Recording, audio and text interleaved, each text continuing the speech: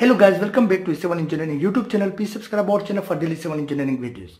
In today's lecture, we are going to find out the support reactions for the cantilever beam with a uniformly varying load or the triangular load acting throughout the length of the cantilever beam.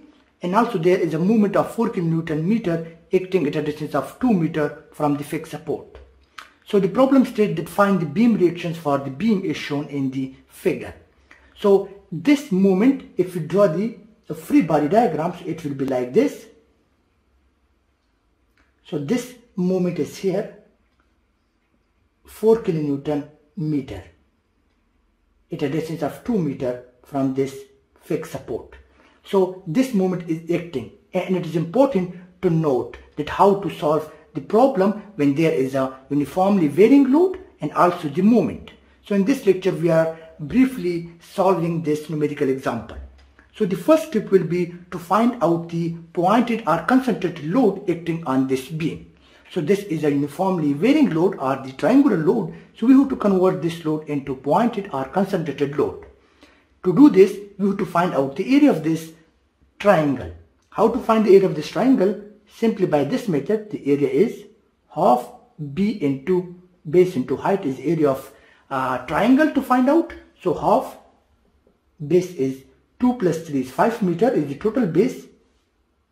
Multiplying the height is 5 so from this we got 12.5 so this is the 12.5 kilonewton is the load acting at the centroid of this triangle. So this is the way how to find out the pointed load or how to convert the distributed load into a pointed load. So 12.5 kilonewton is the pointed load acting at the centroid of this triangle now what will be the centroid of this triangle? So it will be from here up to here. It will be, the total is 5 meter, this total length is 5 meter. 2 plus 3 is 5 meter.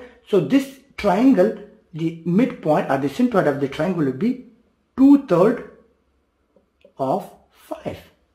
So this is the whole length is 5. So it will be 2 third of 5. And this distance will be 1 third of 5. This is the way how to find out the centroid of a triangle. So we are interested in this load 12.5 and also this moment arm 2 third into 5 which comes out to be after calculating this comes out to be 3.33 meter. So the distance from this fixed support up to this centroid load is 3.33 meter. Now let's consider this is fixed support A and this support will have the vertical reactions are A, Y let's suppose and this also will have the horizontal reaction RAX and also the moment at point A. Now this component will be equal to 0 because this uh, this there is no horizontal load acting on this beam that's why this component of the fixed support will be equal to 0. There are only vertical loads and the moment acting on the beam. So to find out RAY, it's very easy. Simply we have to take the summation of vertical forces equal to 0. We can find out by this equilibrium equation. So the whole load acting on this beam is, we find out is 12.5 kilonewton.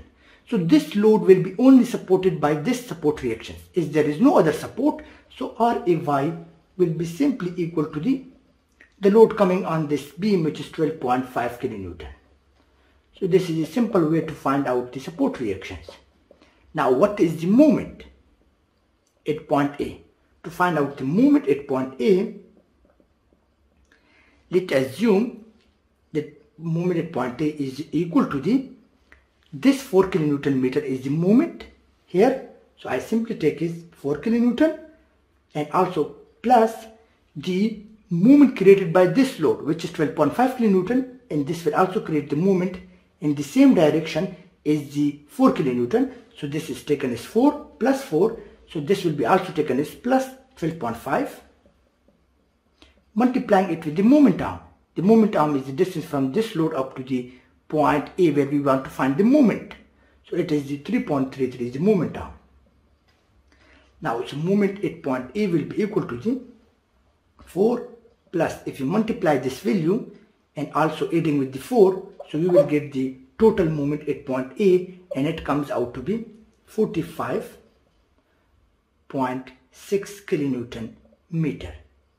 So this is the total moment at point A we can add it here 45.6 kilonewton meter.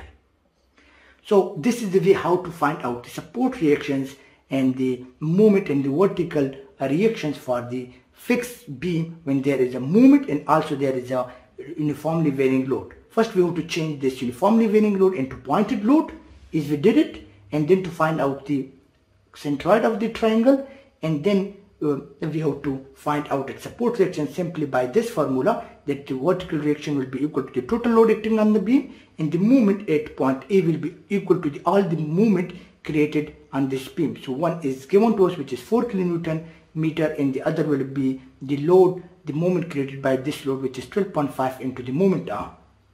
So the whole moment at point A is, comes out to be 45.6. Hope you guys understand and don't forget to subscribe our channel for daily civil engineering videos.